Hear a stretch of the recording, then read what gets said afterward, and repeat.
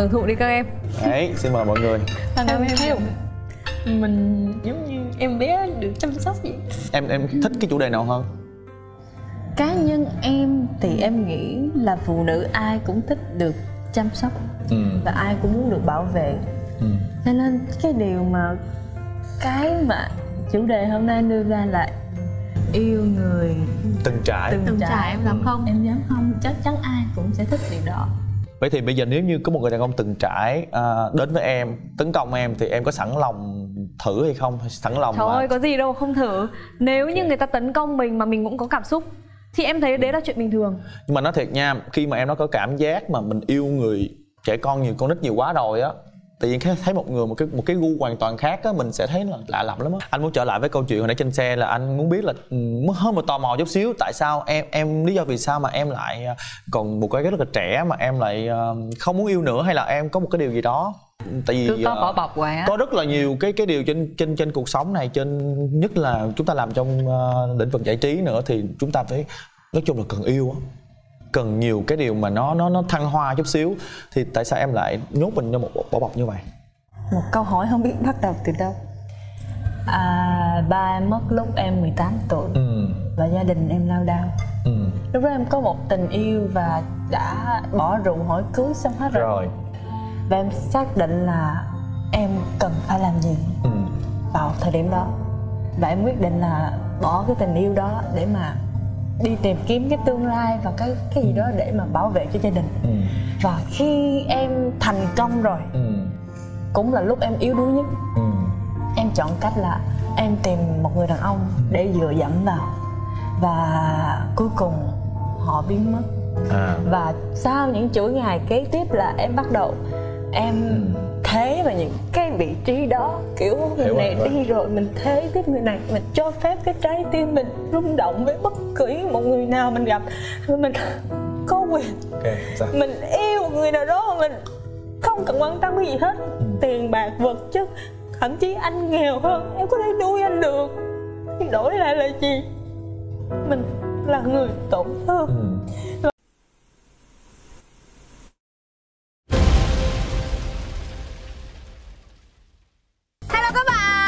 thì chị em chúng tớ đã có mặt ở trên chuyến xe Và chuyến xe này chính là chuyến xe của chương trình Giải mã tình yêu. Mấy lần trước thì à, chúng em được nhận những cái mật thư có những hashtag hoặc là những hình ảnh có những cái thông điệp rõ ràng cụ thể để có thể hiểu được là em sắp gặp những người đàn ông như thế nào. Và ngày hôm nay, chúng em nhận được một lệnh khó hơn là không nhận được một cái thông tin nào từ phía biên tập. Kiểu giống như có thể trên chuyến xe này chúng ta sẽ đi rất là xa. Nhưng mà chúng ta không biết đi đâu. Không biết đi đâu về Dạ, đâu. không biết làm gì luôn. Thực ra thì ờ, em vốn là một người rất là điềm đạm ấy. Ờ, các bạn ờ, có thể là nếu ví dụ như tìm thấy các chàng trai thì đừng có để cho chàng trai đó ngồi gần em. Đừng có để cho chàng trai đó ngồi gần em. Bởi vì nếu không thì em sẽ lộ nguyên hiện nguyên hình là sẽ không có điềm đạm được nữa đâu. Tôi thấy là mặc áo màu hồng nên đi lòng vòng mà đó mình vô chủ đề đi nè. Ôi xe cũng kịp tới đây rồi. Dạ đây là đâu ta? Chúng ta không cần nói nhiều. Bước vô trong là hiểu chuyện gì sẽ xảy ra. Let's go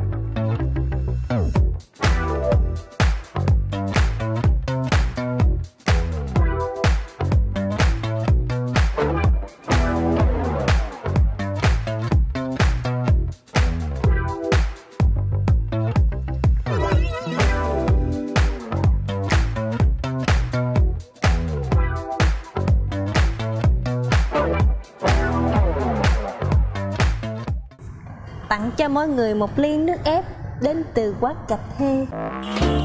Quả địa cầu có bốn đại dương. Dương dương dương là cái giường để ngủ. Ngủ ngủ là cái ngủ để đồ thôi vô chủ đề đi. Ờ tôi đang chờ tôi nhận giờ đó. được một cái quả địa cầu. Kính thưa quý vị chúng tôi nhận được một cái quả địa cầu từ chương trình. Dạ. và và thông tin của chúng tôi về người đàn ông tên là địa cầu hết Một là tên là địa, hai tên là cầu. Ờ Có, có À, cái không không trong nha đó cái này là về thế cả thế giới có cả. Sắp tới là nước nha. ngoài. Ơi có thể là người nước ngoài nha. chị có suy nghĩ về một cái đáp án nào? chị nghĩ chắc cũng là ở châu á thôi. Châu á thì nhưng mà châu nào thì cũng được bây giờ chị bây mong giờ... là một oppa hàn quốc Kính thưa quý vị, với gợi ý đầu tiên đến từ quả địa cầu và chúng tôi không thấy được một chút xíu thông tin nào từ đây. Và ban tổ chức đã quyết định tặng cho chúng tôi thêm một thông tin mới. Ta-da! Trời ơi, một cái thông tin thật là lớn nha mọi người, một cái thông tin thật là chi tiết và cụ thể và cái thông tin nhìn vô là mình sẽ biết À, này này này liền. này này đây là tim đúng không còn đây là địa cầu hay tên này là tâm địa tâm địa. à, địa tâm. Địa tâm. Trái tim hả? Thông tin thứ nhất theo đâu em nghĩ là người đàn ông đó ở nước ngoài mới về? Và thứ hai là đến đây để chọn con tim là tìm kiếm người yêu. Kính thưa quý vị. Đó yeah, cho mọi người? Dạ đó là chính là thông tin một người ngoại quốc Việt Nam để tìm kiếm tình yêu tặng yeah. ba người đó đến tìm tôi đúng không kìa kìa hớn hở quá kìa. Ờ, ờ. Người đó đến tìm tôi đấy mọi người.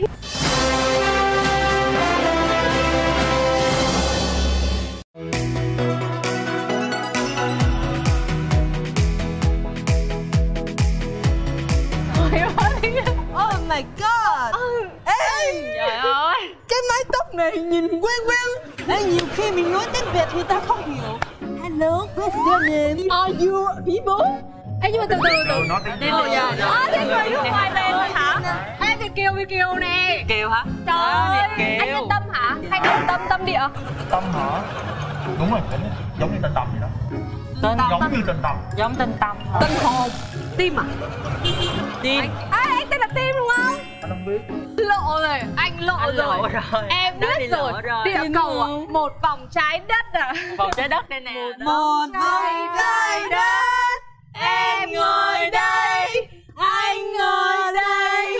Bên cạnh em ngỡ như thật à, đã đủ rồi đó em.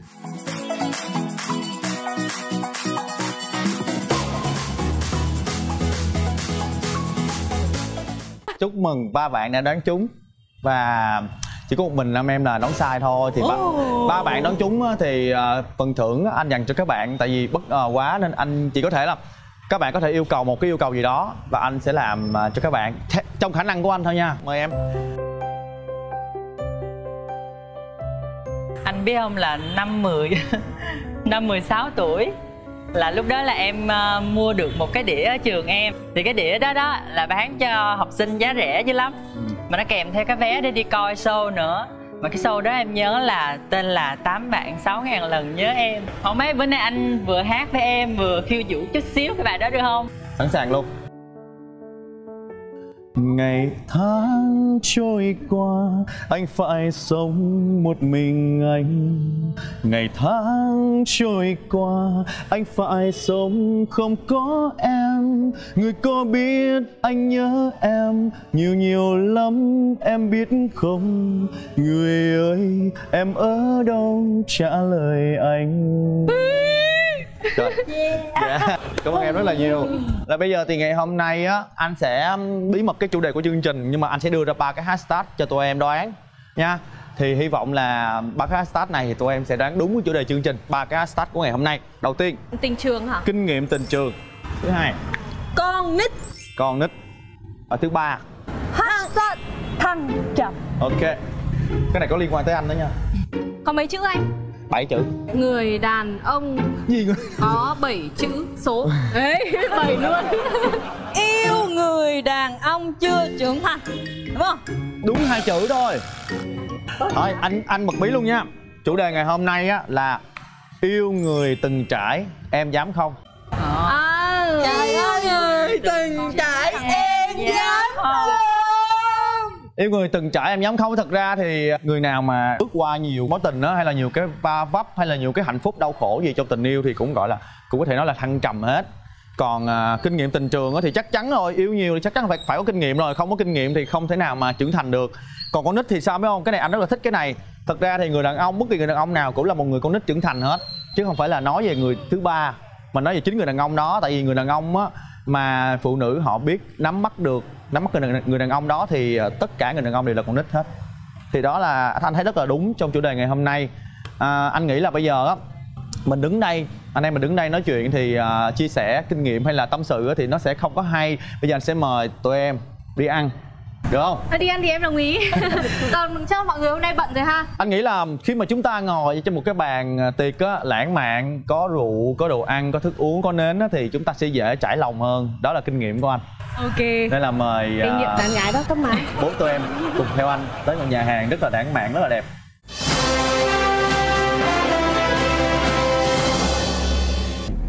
Mọi người à, nãy giờ cảm xúc như thế nào? Em thì chẳng cảm thấy gì ngoài tim đập nhanh cả không có đâu anh nghĩ không có. Tim đập tim đập nhanh là người ta sẽ thường người ta những cô gái mà họ hồi hộp á họ sẽ không có đúng không? Ít nói người ta sẽ lúng túng đâu. đúng rồi. Lúng túng lắm. Em thử Em em. em lúng túng nhá. Em để em, em lúng túng thật xem. Em- ờ. À, em sao thế? Em ngứa cái gì đó. Ok hôm nay anh nói được nhưng mà rất là thoải mái. Rồi bây giờ nói quay trở lại với chủ đề ngày hôm nay thì tụi em nghĩ như thế nào? Nghĩ nghĩ về chủ đề này ờ, có cảm xúc như thế nào theo em thấy Ừ. thì cũng có qua nhiều mối tình em cũng thấy thiệt. Đàn ông là khi mà ở bên người con gái mà họ thích thiệt sự á họ rất là con nít luôn. Ừ. Là họ đi làm về mệt xong bắt đầu họ cũng có nhõng nhẽo họ cũng có một chút ờ, làm nũng với mình dụi vào người mình dễ thương. như là con cún con vậy đó. Không nhưng mà cái đó chỉ là một phần thôi. Còn còn ngày hôm cái nay tính á cách nữa đúng không? đó không tức là một người từng trải á, là họ sẽ có nhiều cái mặt lắm nha. Chứ không phải là chỉ là con nít đâu nên là tụi em nghĩ như thế nào? Nếu như là yêu một người từng trải thì sao? Em có mời em. yêu một người từng trải có khác gì với yêu một người chưa từng trải không anh? Có rất là nhiều.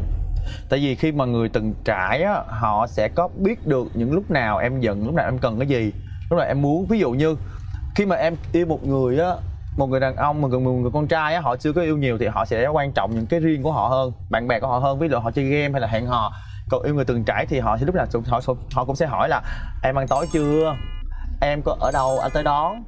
Hay là ừm, à, lo nghĩ tức là họ sẽ lo nghĩ hy sinh cho em nhiều hơn là họ sẽ nghĩ cho họ. Thực ra là đó là cái điều mà đã đã từng trải qua nhiều cái vấp ngã rồi thì mới mới mới kết luận ra được. Câu hỏi của em là Anh nghĩ gì nếu như yêu một người con gái chưa từng trải? Um, thật ra hả cái đó là phải có một sự kiên nhẫn rất là nhiều. Vì khi mà chưa từng trải á, thì sẽ có những cái quyết những cái suy nghĩ á, những cái lời nói á, à, sẽ kiểu như làm họ họ họ chưa có họ chưa có trải qua những điều đó đó nên là họ sẽ có những suy nghĩ đó mới mình phải kiên nhẫn mình giải thích cho họ hay là mình ừ, theo họ. Họ mình mình đầu tiên nhất ví dụ như họ đòi họ sai nhưng mà mình khoan hay nói họ sai thì đó là cái đó là cái Khuyên cái cách của anh cái cách của anh là anh không không bao giờ là nói phụ người phụ nữ sai hết mà mình sẽ từ từ mình sẽ đợi đúng dịp. Khi mà họ đang họ đang nghe lời mình á họ đang ở trong vòng tay của mình thì mình sẽ nói về những điều đó. Trời cảm giác anh tim là gentleman luôn á. Đúng rồi anh. Rất là từng trải. Đối với anh phụ nữ là số 1 phụ nữ là lúc nào cũng là phải ưu tiên và không bao giờ được đánh một người phụ nữ dù chỉ là một cành hoa đó nên nam là em ơi em gỡ cái lượt ra chưa? Em đâu rồi? Ủa, em ơi em có thích đàn ông không? em có hứng thú với người từng trải không ta? Anh thấy em chán nản vậy. Không phải em xin lỗi anh là tại vì ok mời em. là người từng trải như anh cho nên là đó. em kiểu uh, em chán đời vậy. không phải chán đời mà là em chọn cho mình một cái uh, có một à đúng rồi thường là vậy á. Nhưng mà khi mà anh nghĩ vậy nè hồi đó anh cũng vậy á sau một lần vấp ngã tình yêu á là mình cảm thấy mình sợ luôn á. Mình chọn mình một một vỏ bọc luôn nhưng mà thật ra nha cuộc đời này á rất là nhiều cái điều hay mà mình thú vị mà mình chưa có khám phá ra. Mà một cái một cái vấp ngã hay một cái nỗi buồn á cũng giống là một món ăn trên bàn tiệc vậy đó. Chính là mình phải ăn những món như là ngọt mặn chua cay đắng. Đâu lúc nào em cũng ăn ngọt đâu đúng không? Nên là cái điều đó chỉ làm cho em thêm thi vị thêm cái thêm cái kinh nghiệm thôi không có gì hết đó mình nếu mà mình mình khóa cửa Đây cái đúng trái là người đàn ông từng trải. Đúng rồi. Nói thêm nữa. Rồi chúng ta đã tới nơi rồi. Xin mời mọi người xuống. Đó người đàn ông trưởng thành. Là vậy đâu các bạn người đàn ông xin mời mọi người. từng trải có khác đây. Mời em trời ơi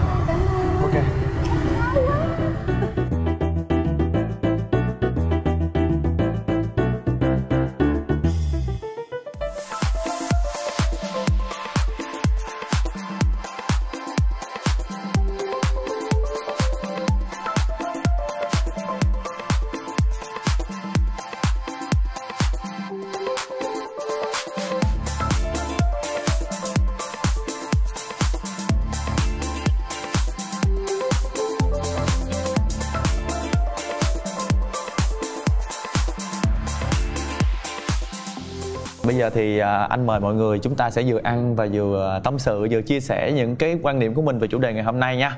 Mời mọi người.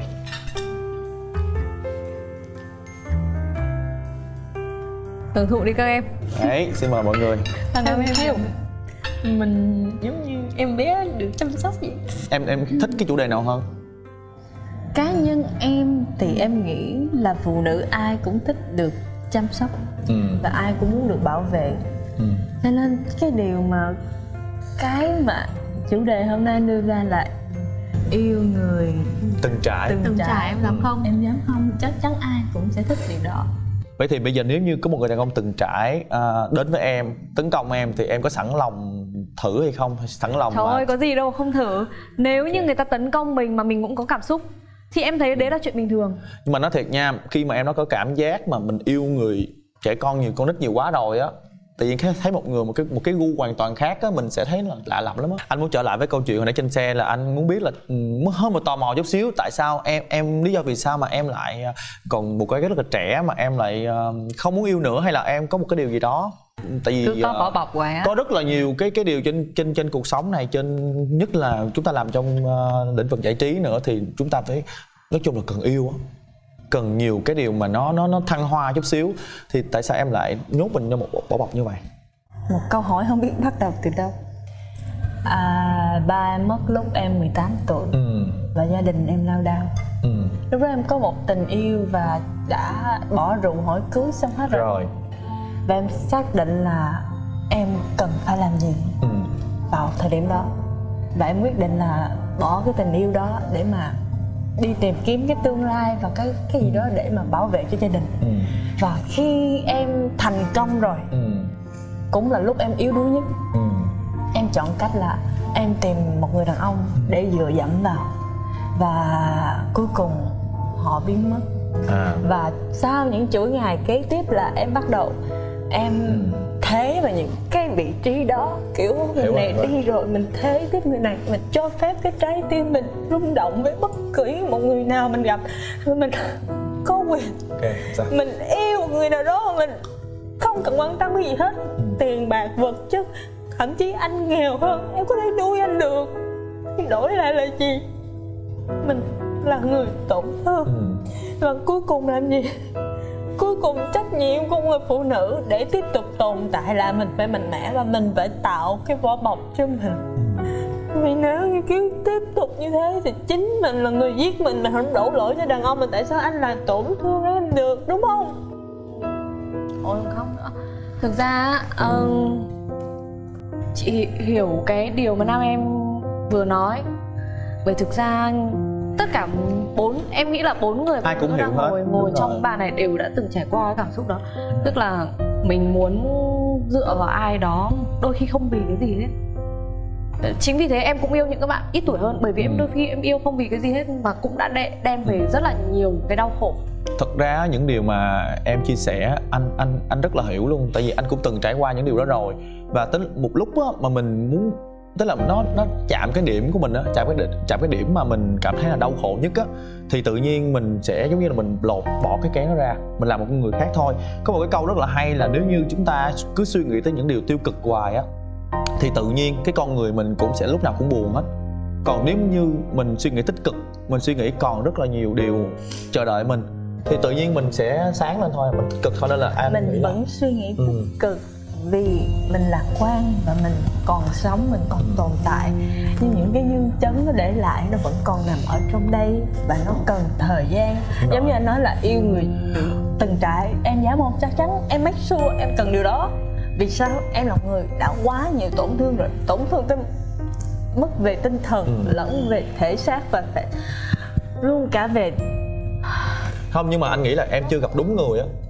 Đúng không? Sao thực ra mà nếu mà mình gặp đúng người của mình á là chắc chắn chắc chắn là mình Đây sẽ em nghĩ vui vẻ. Nam em chính là cái đối tượng cần nhất cái một cái người chững chạc trưởng thành. Cái người đủ mạnh mẽ để đập bỏ cái vỏ bọc đó của em. Không nhưng mà tới thời điểm này em nhận ra một điều là ừ. tình yêu nó không đem lại hạnh phúc cho em.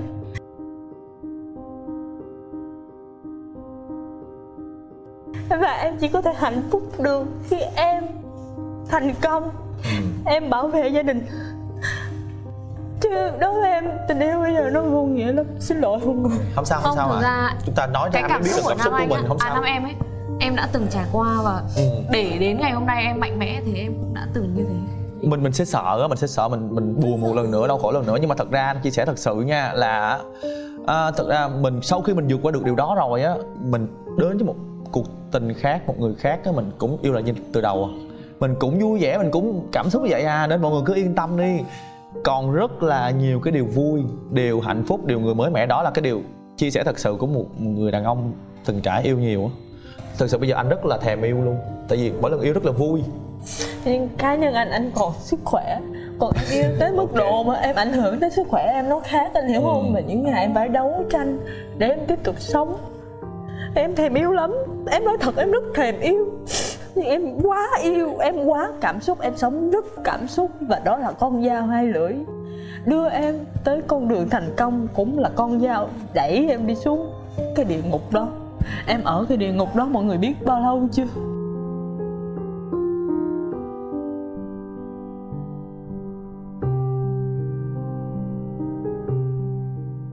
Thôi bây giờ chuyện qua rồi. Mà chúng ta chia sẻ để mà chúng ta hiểu nhau hơn thôi. nhưng mà em Ok. không có kể lễ đây em Không, xin lỗi mọi người em không kể lễ nhưng mà giống như em kiểu em mắc nợ đàn ông á anh hiểu không em mắc nợ đàn ông kể cả anh luôn hả?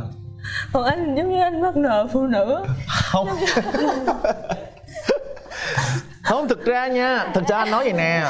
Yêu nhiều là tốt không có gì đâu. Yêu nhiều mình mới có cảm xúc con người mình mới mới là mới là cảm thấy là tại vì những người mà họ yêu họ không không không biết yêu á.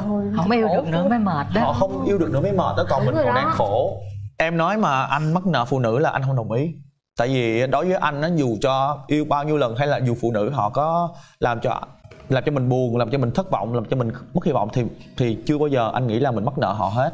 Mà đó đều là những cái khoảnh khắc à, mà mình trải qua trong một mối tình. Một mối tình không thể nào lúc nào cũng vui được hết.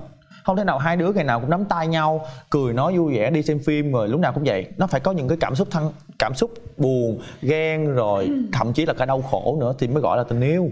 Nên là mình chấp nhận. anh nói anh không thấy mắc nợ thì em không đồng ý.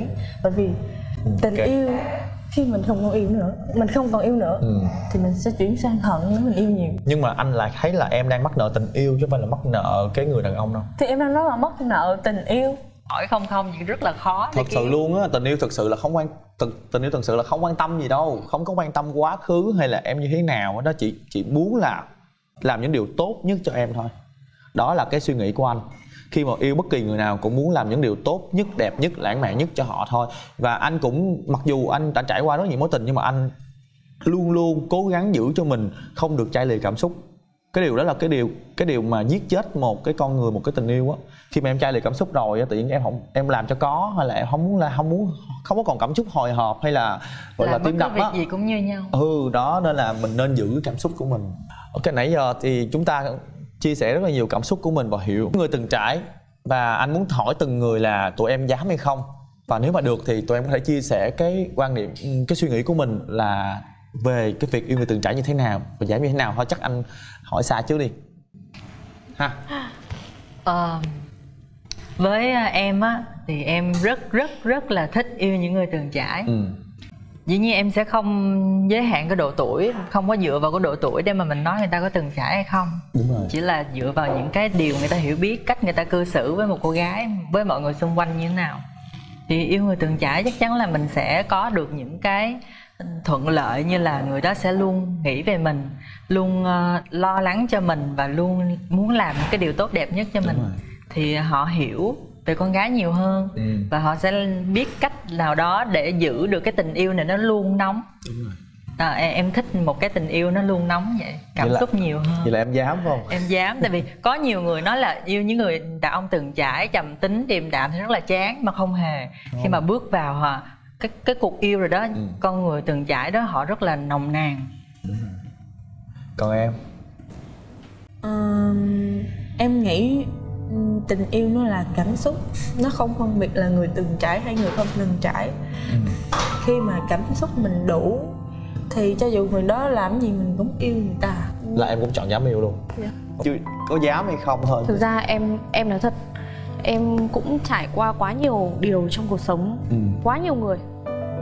Cho nên là em ngoài cái suy nghĩ cho bản thân mình ấy Ừ. em phải suy nghĩ cho cả những người xung quanh mình nữa. Ừ đôi khi em không muốn uh, yêu xong rồi lại ảnh hưởng đến công việc hoặc là em không muốn kết hôn bởi ảnh hưởng đến công việc mình sẽ không thể lo cho gia đình được. Nhưng đến hiện tại thời điểm hiện tại thì em nghĩ là mọi thứ nó cũng đã ổn hơn rồi và em cũng bắt đầu tìm cho mình một cái gì đấy ổn định. Em vẫn yêu nhưng mà gặp một người lớn tuổi em nói thật em em muốn nhưng đúng là em chưa dám. Chưa dám.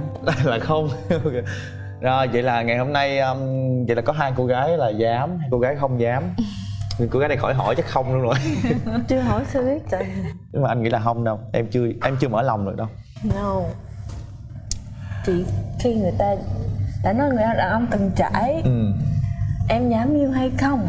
Vậy em hỏi anh là nếu một người phụ nữ từng trải và quá nhiều tổn thương thì anh có sẵn sàng bảo vệ họ hay không? Sẵn sàng. Và thậm chí họ bị bệnh. Ừ. Và họ có rất là nhiều vấn đề về sức khỏe và Ừ. cuộc sống. Ừ. Anh có sẵn sàng hy sinh thời gian của mình để bù đắp cho người ta không? Quan trọng nhất là hai người có đủ tình cảm hay không? Đó mình cũng là thử thách cái điều đó. Ok mà nãy giờ chúng ta trải lòng cũng nhiều nhiều cái nốt thăng trầm nốt lắng quá. Bây giờ chắc là chúng ta sẽ à, làm một cái gì đó cho nó vui vui hơn đi ha. Dạ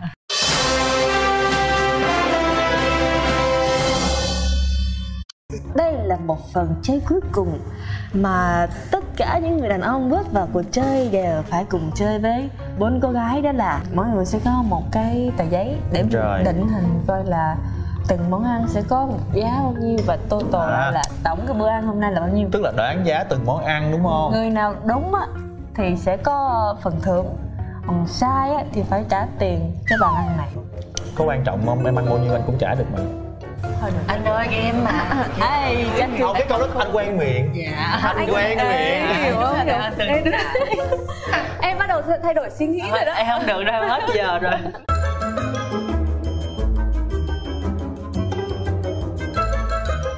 À, nhìn trộm à nhìn trộm à. Tên tên xong rồi.